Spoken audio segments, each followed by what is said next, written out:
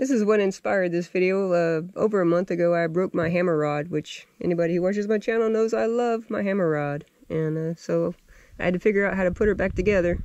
And that's what I did, and it's working awesome. So it works. All right, so to repair your uh, your rod tip, you're going to need uh, some bolt cutters, some braid, appropriate size nail, and then super glue. Now, I do recommend that you use the regular super glue, the liquid super glue, and not the gel. The gel makes a big mess. It, it clumps up and makes a mess. So use the liquid stuff. I would use it, but uh, mine's all dried up, so I'll be using the gel. but don't do that. I say appropriate size nail because obviously you have different size rods, and it also depends on where you break your rod tip off. Like this little crappie rod is not going to use the same nail as this big old catfish rod. For this crappie rod, I'm going to use this little finish nail. For something like a catfish rod, I would use a bigger 8D nail.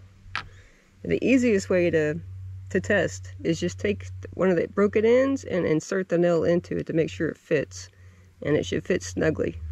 Alright, the next thing you're going to do is just take the nail that you're going to use, get some bolt cutters, and just cut the head off. Just like that. And then you're going to take your super glue, put it on one side of the nail, before you glue it, make sure that the nail fits both sides of the rod. So we got our glue on.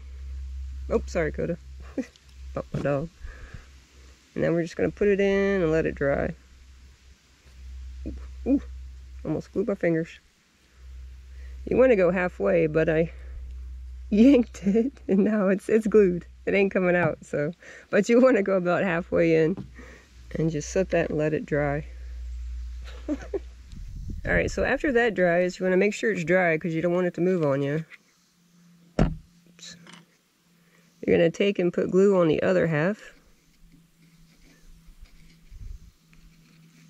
Don't be shy. And here you want to be careful. You want to make sure that your eyes line up or you're going to have one screwed up rod.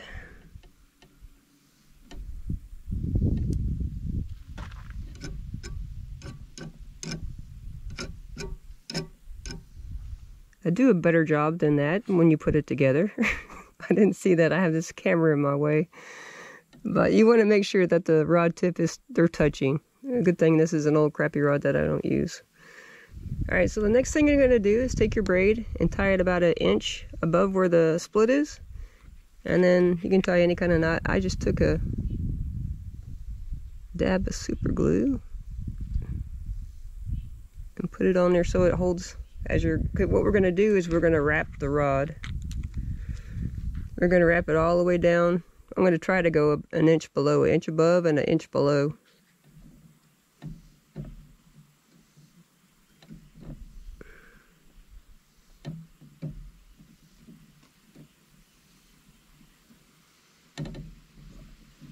Alright, so we have it wrapped an inch above and an inch below, and you want to keep this all tight, you want to keep it as tight as possible and then you tie your knot when you're done. And then here comes the, the super glue again. You take the super glue and you run it all over, up and down. Like I said, use the liquid stuff, not the gel, because the gel makes a mess. Or you're going to coat the whole thing with the super glue, and that's going to be your cement. And then you just let it dry and you're good to go. I let mine sit for a day because I'm paranoid, but once it's dry, you're good, and it's strong.